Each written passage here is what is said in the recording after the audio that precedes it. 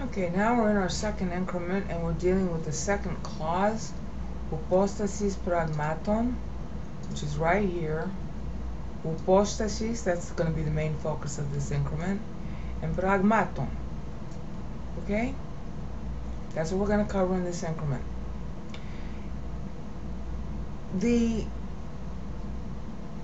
thoughtless translation of hypostasis and I do mean thoughtless, and you'll know in a minute why I say that, is to call it substance, the reality, the underlying reality behind anything. See, this is Friberg. Underlying reality. And Bauer Danker is going to come up with the essential or basic structure, a substantial nature, essence, actual being, reality. Okay? If you're not paying attention to the book and what the writer is saying in the book, and you're not paying any attention to church history and how the word hypostasis is used, yeah, you're going to make the mistake of, of, of saying it's basic structure of reality when you're in a hurry and translating and you've got candle wax. You know, because the King James translators were in a hurry. All right? They'll just write down the first thing that comes to mind. It's an understandable mistake. What is not forgivable? Well, it's forgivable, but it should be fixed. Is that after 400 years, we're still not understanding how wrong we are to translate that word hypostasis as substance? Because looky here, baby. Oh my, what do we see here? Hypostaseus. And where is it? Hebrews 1 3. And what is it talking about? Oh, it's talking about Christ. He's the radiance of Father's glory and what? The character, the exact representation of Father's nature. And what is Father's nature in the Greek? Hypostaseus. Uh-oh. Uh-oh. Christ is being called the hypostasis. Yeah, and don't we all know that in theology? What do we call his nature? The God-man hypostatic union. You ever heard of that term? Yeah, and why do we say that? Well, what is a hypostasis? Literally, Hypostasis, hupo means under, and stasis means standing. So it's understanding. It means literally in our English would be standing under. One nation, one nature, his humanity, standing under another nature, his deity. Okay? That's why it has this connotation of underlying, the substantial nature Okay, so the nickname, nickname of Jesus the Christ in the book of Hebrews, established right here, is that he is the substantial nature of the Father. The exact representation, character, that's this word right here, of who? The Father. Okay? So this is a nickname for the deity and humanity in one person of who? Jesus Christ. It is not substance in the generic sense. Okay, you got that, right? Hopefully you got that.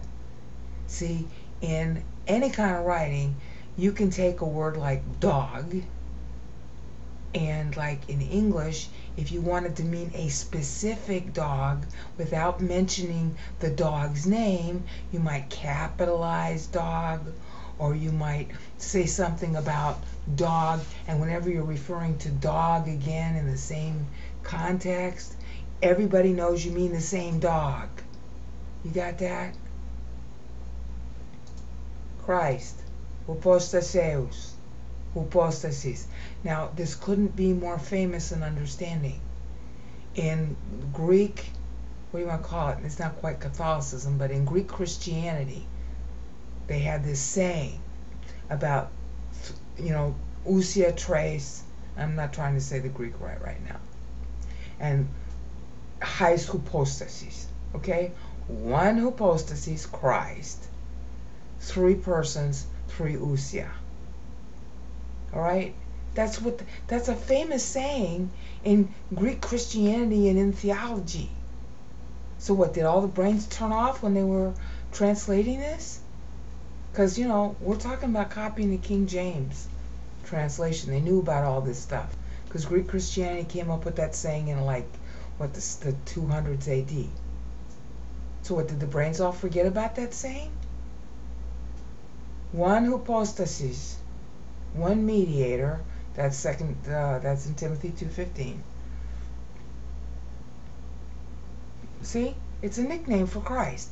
It is not the generic term for substance or assurance or underlying reality. Well, I mean, he's the underlying reality of everybody's life. Yeah, in a sense. Then you'd have to capitalize it and call it the reality, the substance, the dog. You see what I'm trying to get at here? This is a rhetorical device used by the writer of Hebrews. And oh, is Brainot just making that up? Uh, no, I just gave you reasons why you can know that. And you'll notice on the right hand side of the screen, he's using the term again. Well, is there anywhere else he uses it? Oh, yeah. Hebrews 3, verse 14. Ah, ooh, partakers of Christ? Ah, yeah, doing what? Ten arken, tes hypostaseus mekri, until the end. Ah, holding firm from the beginning our what? See, he's using it as a nickname. He's using this in that position. How do you hold firm and assurance, you can't. But if you were to capitalize assurance, substance, reality, in apposition to Christou, which is also in the genitive hello, then you would know again that the writer is drawing a parallel between Christ, the exact nature we saw in Hebrews 1 3, He's reminding the reader that the reality is Christ. It's a nickname for Christ. You hold to what? You hold to Christ. Because why? Because we're metokoi. We're partakers. See, if you're a part, if this can't be too hard. If you're sharing in something, if you're partaking in something, that means your hands are partaking. Your hands are touching the thing you're partaking of. And what are you a partaker of? To Christou. Hello? Who is what? The hypostasis. Hypostaseus here. Do you see the parallel? Could it be more obvious? This is the second time he's done this between Christ and hypostasis. So are you surprised that here in Hebrews 11:1 he's doing it again? Now he doesn't have to say Christ a third time. He's saying hypostasis a third time. So when you're looking at this, hypostasis, you should read that as Christ, the substance, the reality of our life, just like Hebrews 3:14 says, right there on the left-hand side. Duh. It has a special usage in the book of Hebrews. Why didn't the translators pick up on that? Well, probably because their wives were yelling at them, or the candle wax was melting, or they were hot, or tired. You know, we're all human. But why do we make this mistake for 400 years now? When this is one of the most famous terms in theology. We all know it stands for Christ. So why aren't we using it for his name right here in Hebrews 11:1? Okay? Then we come to our next word, pragmaton. A pragma. A pragma is a technical term for a, a lawsuit. Okay? It has a generalistic term. All right? And then it has another generalistic term, occupation. Okay? But it's most especially used in law for a matter before the court. Okay? And how do we know that it's used that way versus the other two ways? Because if you will look at the entire chapter of Hebrews 11, it's about people being put on trial for having confidence in the Word of God. The entire chapter is about that, which you can tell even in English translation. So this should be translated Christ, hypostasis, nickname, the exact nature of Christ, and this is literally of the trials. Christ of the trials. Christ of the trial matters. I prefer the better, you know, English idiom would be Christ on trial. Christ on trials, literally plural. And that's the next point I need to make. This is by people. People have confident expectations, not things. This is plur- genitive plural. Objective genitive plural. And the object of the confident expectations is what? The Word of God, the contract, the Bible. And what is Christ's other nickname in the Bible? The Word of God, who became flesh and dwelt among us. The Word of God, who became the way, the truth, and the life. Already established twice previously in Hebrews using the same word hypostasis as Christ himself in the flesh. So, he is the faith. The content of what we believe is Christ. He is the hypostasis, the exact underlying reality of God, the exactness of God. He's God himself. You see the point? So, this too is an objective genitive. He's the subject of the trial, but the trials, pragmaton, plural, trial matters, trial lawsuits, are also genitive plural and also objective genitive because he is the trial matter. He is the subject of the trial, therefore, the object of all the trials that are filed. You see the point?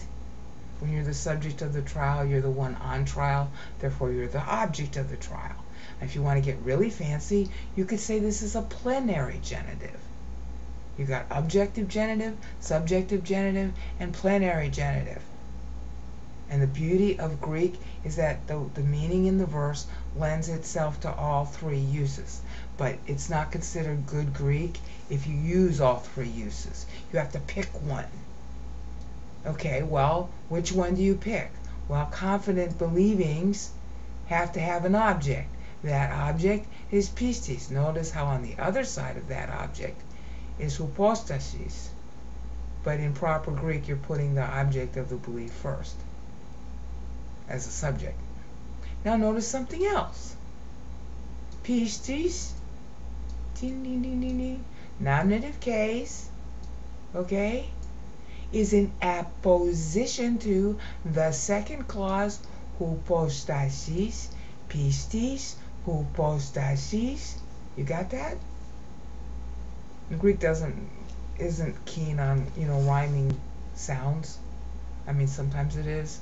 That's you know whether the writer intended that or not. I don't know if I go that far, but the endings are the same here and here and objective genitive because he's the topic of the trial. He's the one who's on trial.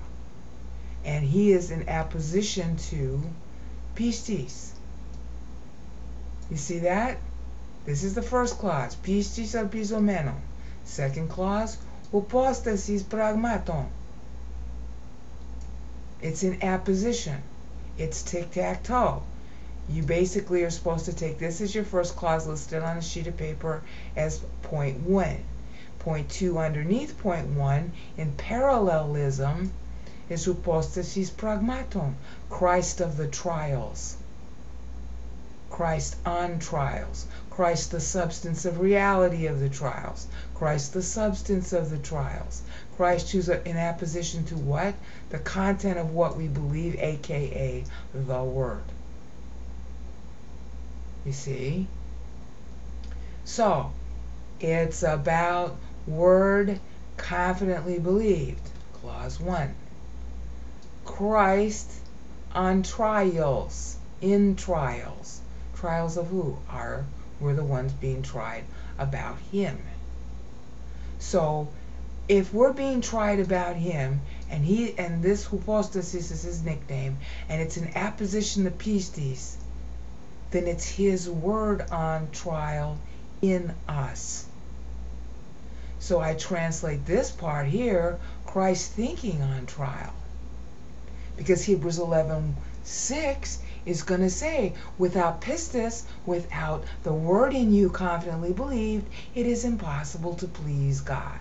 So Christ's word is the word, is the Bible in your head on trial. See how easy that is to understand? Can you think of one denomination on the planet that would disagree with that? It doesn't it doesn't disagree with anybody's interpretation. This is pan-denominational. The one thing everybody in Christendom agrees is that the Bible is the Word of God. Okay, well, there you go. In the next increment, I'll cover the last and simplest clause that's also an apposition, el sub